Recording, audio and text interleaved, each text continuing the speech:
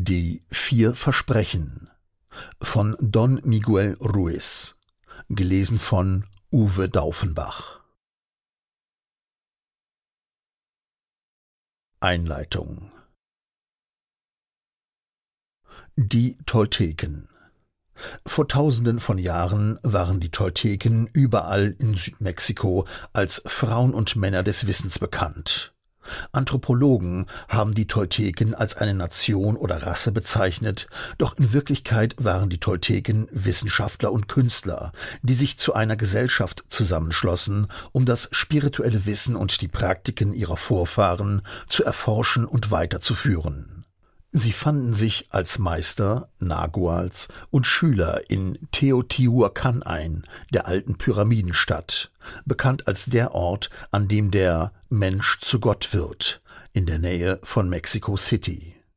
Im Laufe der Jahrtausende sahen sich die Naguals gezwungen, das überlieferte Wissen zu verheimlichen und seine Existenz im Verborgenen lebendig zu halten. Die Ankunft europäischer Eroberer und der wuchernde Missbrauch persönlicher Macht bei einigen der Nagual-Schüler machten es erforderlich, das Wissen vor denjenigen zu verbergen, die nicht darauf vorbereitet waren, es weise zu benutzen oder die es unter Umständen absichtlich für ihren persönlichen Nutzen missbrauchen würden Glücklicherweise wurde das Wissen in verschiedenen Nagua-Linien bewahrt und von Generation zu Generation weitergegeben.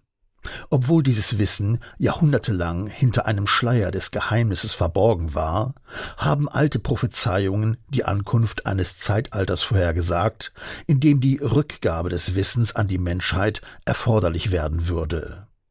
Heute ist Don Miguel Ruiz ein Nagual der Eagle Knight Linie, derjenige, der dazu angeleitet wurde, die kraftvollen Lehren der Tolteken mit uns zu teilen. Das toltekische Wissen entspringt derselben Quelle der ursprünglichen Wahrheit wie alle heiligen Traditionen überall auf der Welt. Obwohl es sich bei dieser Lehre nicht um eine Religion handelt, ehrt sie alle spirituellen Meister, die im Laufe der Geschichte auf der Erde gelebt und gelehrt haben. Während die Weisheit der Tolteken den Bereich des Spirituellen mit einbezieht, kann man sie am zutreffendsten als eine Lebensart beschreiben, die sich vor allem durch die leichte Erlangung von Glück und Liebe auszeichnet. Smoky Mirror vor 3000 Jahren gab es einen Menschen, jemanden wie Sie und ich, der in der Nähe einer Stadt lebte, die von Bergen umsäumt war. Der Mensch studierte, um Medizinmann zu werden und das Wissen seiner Vorfahren zu erwerben. Doch stimmte er nicht vollständig mit allem überein, was er lernte. In seinem Herzen spürte er, dass es noch etwas anderes geben musste. Eines Tages, als er in einer Höhle schlief, träumte er, dass er seinen eigenen Körper schlafen sah. Er verließ seine Höhle und fand sich in einer Neumondnacht wieder. Der Himmel war klar und Millionen von Sternen strahlten auf ihn herab. Plötzlich geschah in seinem Inneren etwas, das sein Leben unwiderruflich veränderte. Er schaute auf seine Hände, er spürte seinen Körper und er hörte seine eigene Stimme sagen ich bin aus Licht, ich bin aus den Sternen geschaffen. Er schaute wieder zu den Sternen auf und erkannte, dass es nicht die Sterne sind, die das Licht kreieren, sondern dass vielmehr das Licht die Sterne erschafft. Alles ist aus Licht gemacht, sagte er, und der Raum dazwischen ist nicht leer. Und er wusste, dass alles, was existiert, ein lebendiges Wesen ist, und dass das Licht der Boot des Lebens ist, da es lebendig ist und alle Informationen enthält, die es gibt. Dann erkannte er, dass er, obwohl er aus Sternen bestand, nicht dasselbe wie diese Sterne war.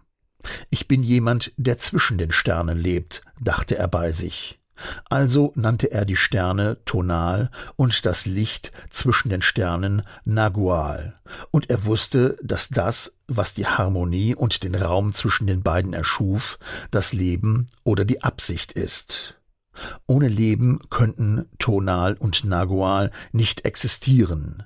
Das Leben ist die Kraft des Göttlichen, des Höchsten, des Schöpfenden, das alles erschafft.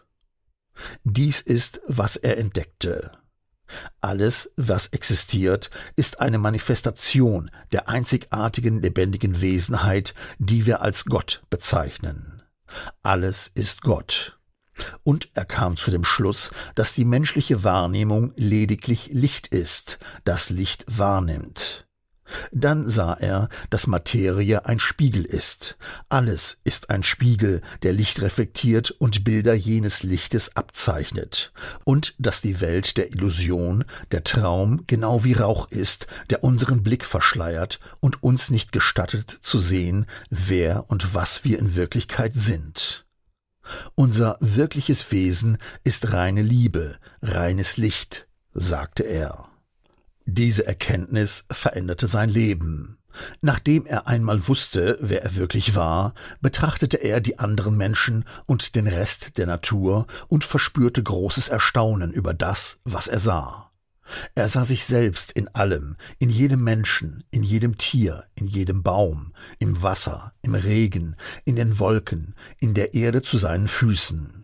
Und er sah, dass das Leben Tonal und Nagual auf unendlich verschiedene Weisen verband, um Billionen von Manifestationen des Lebens zu erschaffen. In jenen wenigen Augenblicken verstand er alles. Er war sehr aufgeregt und sein Herz war von Frieden erfüllt. Er konnte es kaum erwarten, seinem Volk zu berichten, was er entdeckt hatte. Doch es gab keine Worte, mit denen er es hätte erklären können. Er versuchte, den anderen von seinem Erlebnis zu berichten, doch sie begriffen nicht, was er meinte. Sie konnten sehen, dass er sich verändert hatte, dass seine Augen und seine Stimme etwas Wunderschönes ausstrahlten. Sie bemerkten, dass er nichts und niemanden mehr verurteilte. Er war nicht mehr der gleiche, er war nicht mehr wie alle anderen. Er konnte jeden sehr gut verstehen, doch niemand war in der Lage, ihn zu verstehen.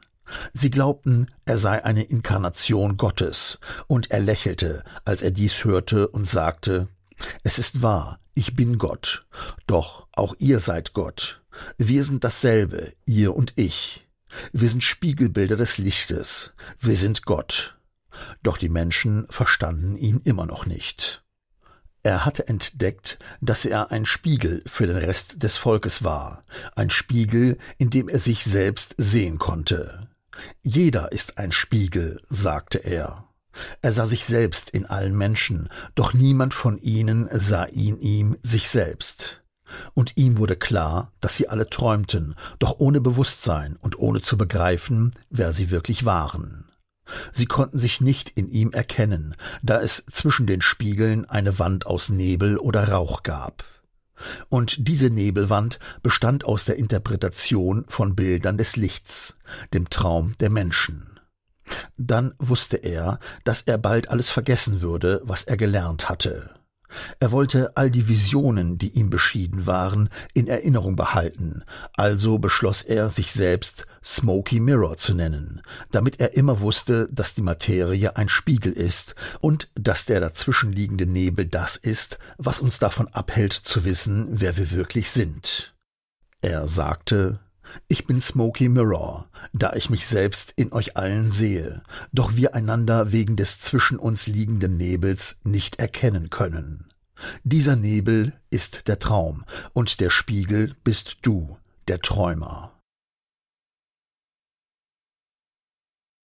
Domestizierung und der Traum des Planeten Was Sie jetzt sehen und hören, ist nichts als ein Traum. Sie träumen genau jetzt in diesem Moment. Sie träumen mit wachem Geist. Träumen ist die Hauptfunktion des Geistes, und der Geist träumt 24 Stunden am Tag. Er träumt, wenn der Verstand wach ist, und er träumt, wenn der Verstand schläft. Der Unterschied besteht darin, dass es, wenn der Verstand wach ist, einen materiellen Rahmen gibt, der dafür sorgt, dass wir die